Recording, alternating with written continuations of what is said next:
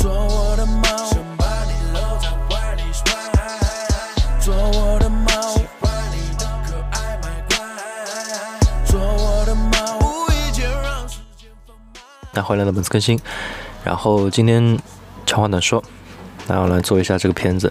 那这个片子是 FS 五拍摄的，然后整个是在棚里面，然后进行了一个侧拍，啊，质感就是这个样子。那如果你们这样看的话，还可以。啊，其实很多片子都这样啊，拍坏了。那天我去了香港啊，去香港过圣诞节，然后把机器给了助理。啊，这一段是助理拍回来的素材。先分析一下啊，先分析一下成片的话，我的思路是这样的啊，因为你们现在看到的是一个成片的颜色。那如果说正常手机里观看的话，你们可能看到的是电脑端看到的差不多这样。如果你是用手机端看这个视频的话啊，差不多这样。啊，其实静态的看啊还可以。所以说啊，有的东西啊，其实不是不能用啊，就是你做好之后再做酷炫的转场，其实也可以稍微带掉的。这边主要是要跟大家说一下，对于这种已经拍坏掉的这种暗系的这种素材啊，我个人的一些比较暴力的拉回的一个方法。好，我们直接开始调色。原片是这样的，嗯、整个的直方图可以看到啊，基本上像素都在这边啊，而且有很大的一部分，你看暗部的一些内容已经丢失了。所以我做的第一步啊，对这种素材，我做的第一步是直接拉上来。啊，可以看到，呃，很惨，啊，很惨。然后我们要做的就是把它的对比度还出来，恢复一点高光，恢复一点暗部。啊，但是很明显啊，你看，如果我在做暗部的时候，整个的示波器拉的很厉害，很厉害。所以我们这边就是根据自己的，稍微拉一点。这边不顶天立地的原因是因为损失太厉害了，那拉扯也没有意义，而且后期做的话，基本上也是往暗系去靠的。啊，拉起来的原因，只是为了自己在选颜色或者调颜色的时候，能把层次给做出来。好，然后我们看一下啊，这一步我们要先把降噪做掉，你降噪不做，后面取色一塌糊涂。开较好，开大一点啊，这边没关系。那对于这种素材啊，没办法，开大一点。然后会发现很明显的涂抹，这边涂抹会比较严重。然后我们到这个地方啊，把这个锐度加一点，这个也是没有办法的。那把锐度加一点，这样子，如果是你在手机上观看的话，会稍微好一点啊。加不加锐锐度的话，会差的比较多。那之后就是我们的一些常规操作，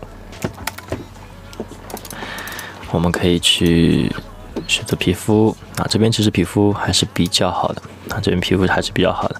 然后就是衣服啊，但是这边的衣服可能和背景融的就比较多了，整个的背景和衣服在这个曝光下的像素信息基本上都是吃在一起的啊，所以宁可就把它放在一起去调了。好，这边我们不对衣服做调整啊，然后直接对明度做调整。那比如说这个地方的蓝吧，这个应该是就完全看不出这个是什么颜色了。那这应该是紫，那我们把紫色突出一点，然后把这一块的绿色我们往上再突出一点，然后裤子的颜色，看这边会带到口红。好，慢一点。好，然后我们粗略调完之后啊，接下来我们开个新的矫正器。啊，然后这个矫正器还是一样是做那个结构的。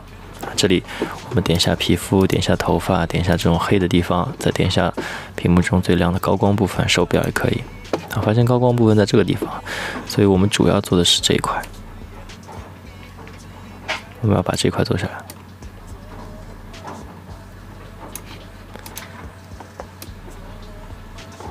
好，然后整个画面啊，这里就已经偏色了，先不要管。整个画面的脸色，先把脸色弄得稍微粉一点。这边要做的快一点，就不对细节做阐述了。好，现在这个样子。然后结构做完之后，我们去到下一步，然后选取啊这个明度，我们按照亮度来调色。我们把暗部的一些像素选出来，啊，差不多是这样，啊，差不多这样。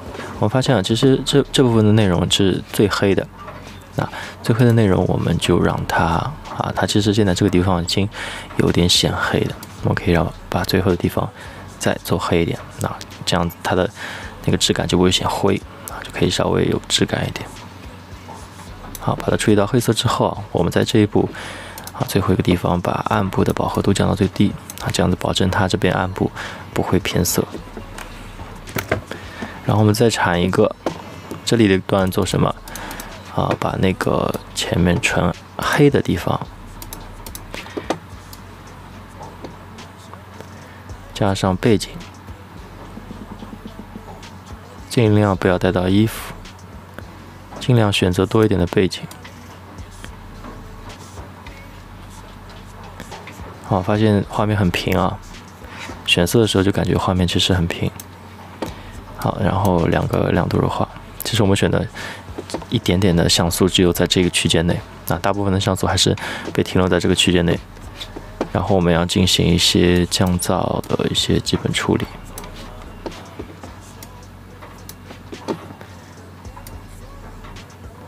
好纯黑的地方就尽量不让它偏色，然后就是去动它的一个整个的一个偏色。好，然后我们在最后开一个节点。那这个时候其实除了基本的颜色，啊你还可以对一些色温进行一些你所需要的偏色。那比如说这个地方啊，其实做到现在，我发现这个地方的饱和度啊，其实不是特别好。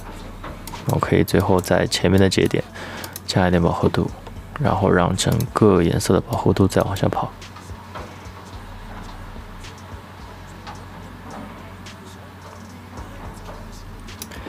然后准备在一开始的地方再改一下，虽然后面有取色，这边我就偷懒了，直接去改这边的颜色。好，然后在最后一步基本上就是套一个常用的，Let's。如果你要直接偏色的话，你就把这些暗部啊进行偏色，或者是用那个曲线啊点击暗部直接拉。如果说你想要快速去把你的颜色做好的话，那做到这步的时候啊就做到这步，差不多做到这步的时候，你可以单独的去对你的肤色进行一个保护啊，比如说我们在这边去选取一点像素啊，然后把这些像素先进行保护。看到这边取色已经非常恐怖了，很多地方其实都没有取到。我们先不用管，直接把阴影取到什么都打开。那后期一定会造，一定会造，所以我们先不要太关注这个。然后我们去到后面去套用一个自己啊平时用的这种 LUTs，。啊，可以是这个，可以是这个。这个我觉得太蓝。那如果一定要用这个的话。我可能会在前面这一步走，尝试去变动一下它的色温啊，比如说像这样，那在一开始的时候变动一下它的色温啊，同时在这边的曲线啊，然后继续控制一下我在前面控制的一些影调啊，让暗部的像素重新露出来一点，然后就是在最后这个部分去控制一下它的输出。最后再提一下，然后整个调色啊，其实也是要看状态的啊。之前做了一版，之前做了一版，然后就调到一个差不多的画面给你们看一下啊，差不多这个画面啊。之前做了一版，这个是我刚做的嘛，这是我刚做一版，然后我之前做的一版在这里，然后我切一个滑像这样你们看一下，这是我之前做的那版。其实有的时候我喜欢这种，但是有的时候我喜欢这种，我更喜欢我上一版调的影调啊，就是我上一版调的影调。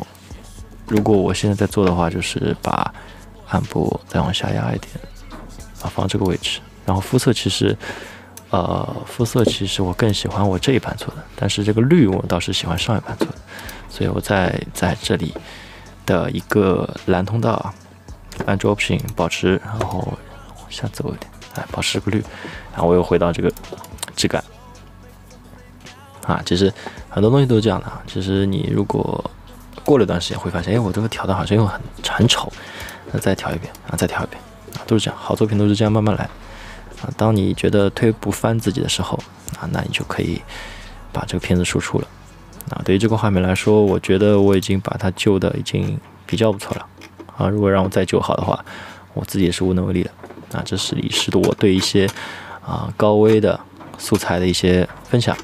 啊，这边跟大家说一下，啊，然后再做个画像，哎，这个时候我觉得，那这次是我调的好了，啊，所以最后的一些问题是出在一些影调上面的，啊，对于这部已经黑不溜秋的素材，那我们直接就把影调给做下来，不要让它再回。